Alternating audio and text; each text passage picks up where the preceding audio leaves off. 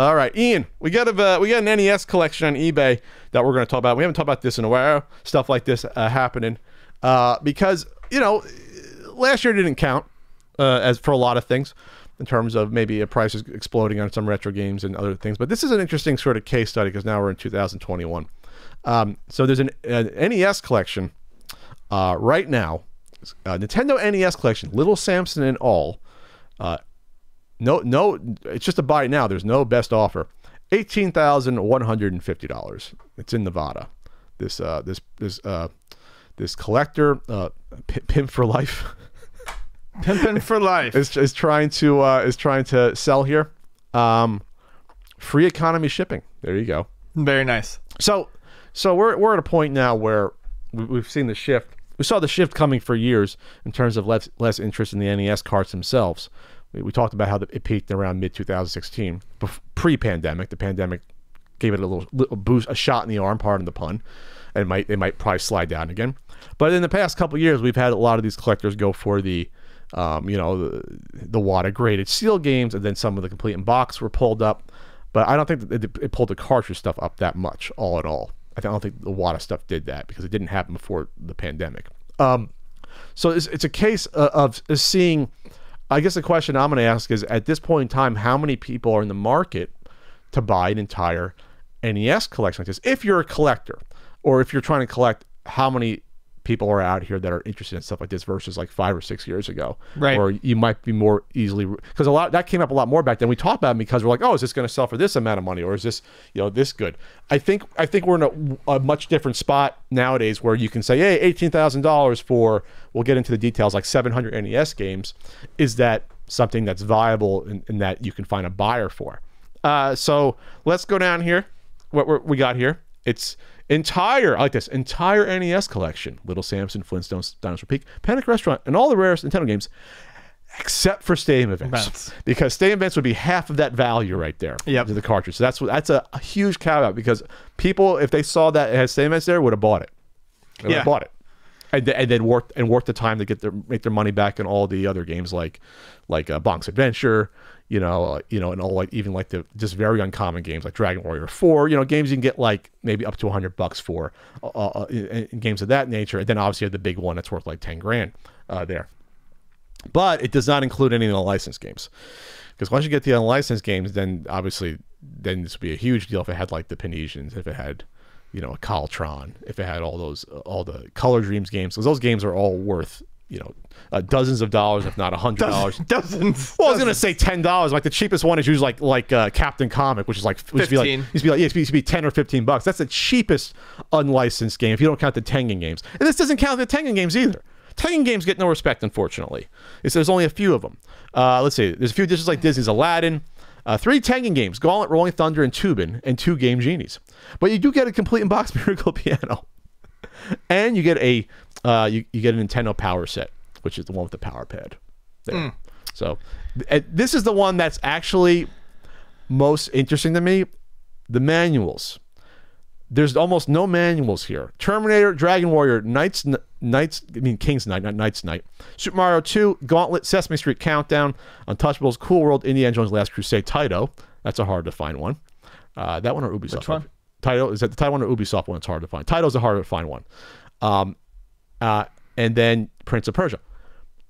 It is shocking to me that you would amass a collection with 700 games and only have about 10 manuals that you acquired throughout the way if you didn't sell them off.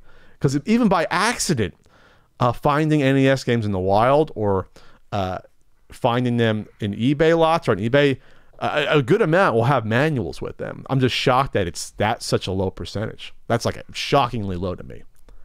Because when I built up my collection, I would say I got to I'd say 40% of my games, maybe over a third, I had the manual with them without me buying them separately, easily, just by finding them along the way. Really? I think uh, maybe a third, maybe a third, definitely not a half, but it was it was not a you know just find them at a swap meet and they have the manuals or because they still have the case on them. Right. Manual slipped into the side. Uh, most of the games are in good condition. Four have damage.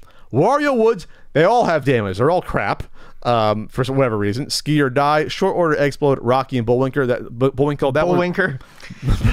Rocky and the old Bullwinker. and then a crack on the card of Cowboy Kid. Ooh, that's that's a tough to find one. But they've personally cleaned and tested it almost every single game. We know what that's like. Doing that for an entire collection. Yes. we know what that's like. But we had that. So anyway, so um, do, do you think this, there's a there's a market for something like this in 2021? I I think this. I, th- I basically asking the price of what probably what these are retail you know, price are. no. I, th- I think at this point we're we're kind of beyond that, or we're getting we're getting beyond that. Um, Much like a Beyond Burger. We, we can't believe. we talk about it as as as, as we get further and further from from the the height of NES collecting popularity. Five years Um, already The the most before. uh, people lose interest in I think the unknown titles. Whenever a system is like at its hottest, people want basically anything that has to do with it. They want all the titles, they want complete sets. But as time has gone on, the interest in a lot of that um, goes down. People people uh, there's not a lot of people out there right now actively hunting down a copy of Supercars. Yeah, that's the one you always use. You always go right to something like Supercars. Yeah. I always go to something like Goal 2. I always go to like Goal 2. Hard to find game. You will not want that game for the most part unless you're trying to complete an NES collection. Or Bases Loaded 4. Like a Yeah. legitimately rare game. You, it's, you don't come across it. You don't want that game or know it exists. You don't know that game exists unless you're like a hardcore Right. NES collector. Yeah, and it's funny because as hard as baseball or as uh, bases loaded four is to find, it doesn't sell for much either because it's just a fucking sports game. Well, that for a while it did until this happened. Let me look this up on eBay now. Now, I'm- now I'm curious. Bases loaded four NES. I thought it was always like sub ten. Oh no, now it's like 46 by it now. Um, it, it was it was one of the last ones that were Sure. brought up. It was. Um, so anyway, you know, I, I so I think I think this is a tough sell because we're back kind of at that point where people who want to uh, buy NES stuff, they're happy buying the bigger name titles and buying what they they need.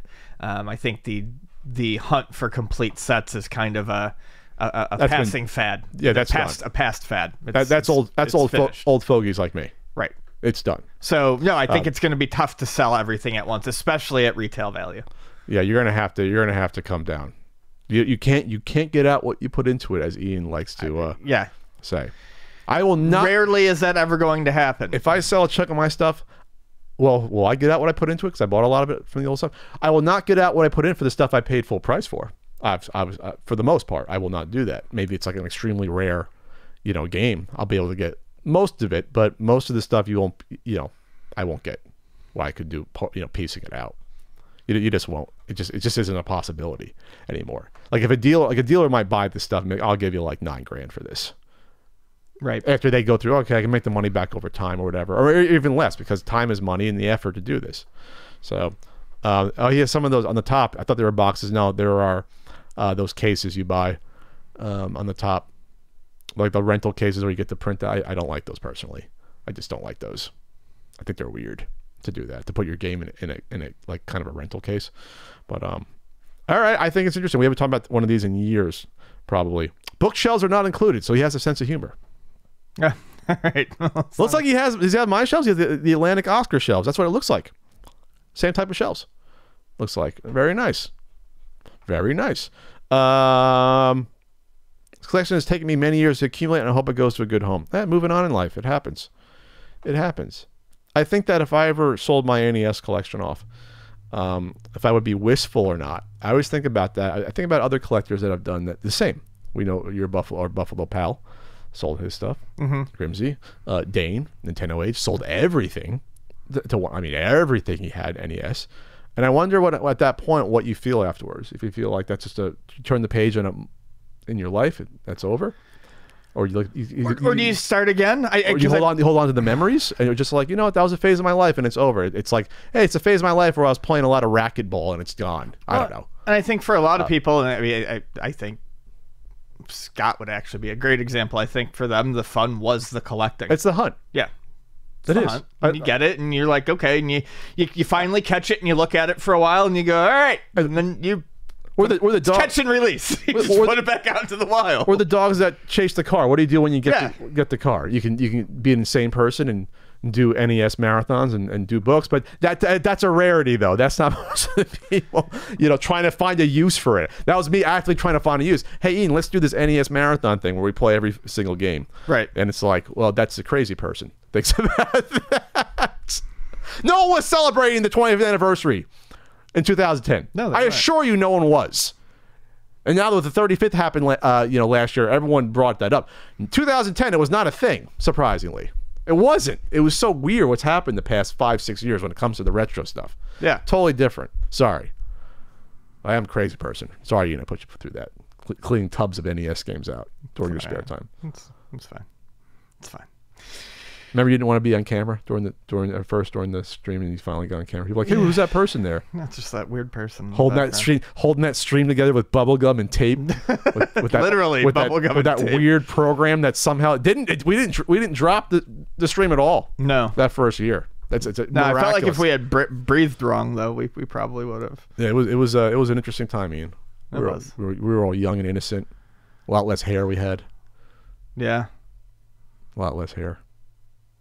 Sort of growing out of ourselves as we get older here. All right, well that's it uh, on this. Uh, you want to pick this up for for uh, for, for Treg? Any of this stuff? No. No, Does Treg want any of my stuff that I'm going to sell? Do you think? I don't think so. But Bonnie will take some of your stuff. Trey wouldn't want anything, really? Okay. Makes me sad. Maybe.